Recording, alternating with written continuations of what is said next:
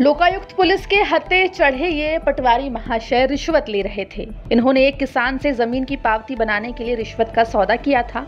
मांग रहे थे पचास हज़ार लेकिन रिश्वत का रेट तय हुआ था पैंतीस हज़ार रुपए।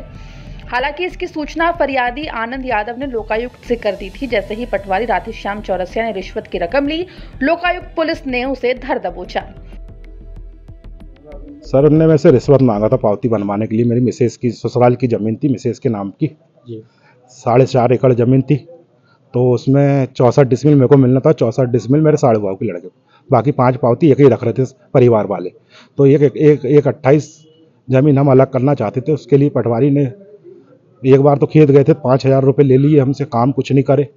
और अभी दो दिन पहले बात हुई थी तो बोले पचास हज़ार रुपये दो आपकी पंद्रह से बीस दिन में हम पावती तैयार करके दे देंगे आपको। तो पचास हज़ार हम तुम्हारे पास तो व्यवस्था नहीं बोले सर हमने। तो उन्हें पैंतीस हज़ार में डन हुए और आज पैंतीस हज़ार उनको दिया था मैंने दरअसल फरियादी आनंद यादव ने पटवारी की शिकायत जबलपुर की लोकायुक्त टीम से कर दी थी जिसके बाद लोकायुक्त डीएसपी दिलीप झारवड़े के नेतृत्व में लोकायुक्त की टीम पहुँची और आरोपी पटवारी को धर दबोचा। आ, हमारे आवेदक है आनंद यादव ये चंदनगांव छिंदवाड़ा के निवासी हैं।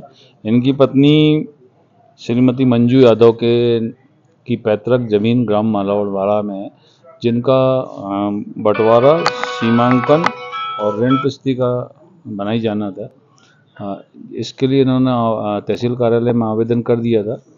उसके बाद ये जब अपने हल्का पटवारी श्री राधेश्याम चौरिया से मिले तो इनके द्वारा ये सब काम करने के एवज में पचास हज़ार रुपये रिश्वत की मांग की गई थी। आज हमने इनको पैंतीस हज़ार रुपये की रिश्वत लेते हुए पकड़ा है, कार्रवाई जारी है। आपको बता दें कि मध्य प्रदेश में लगातार लोकायुक्त की टीम ऐसे रिश्वतखोरों के खिलाफ अभियान चला रही है और लगातार ऐसे घूसखोर अफसरों को पकड़ रही है ताकि भ्रष्टाचार पर नकेल कसी जा सके। छिंदवाड़ा से पवन शर्मा की रिपोर्ट, एमपी तक।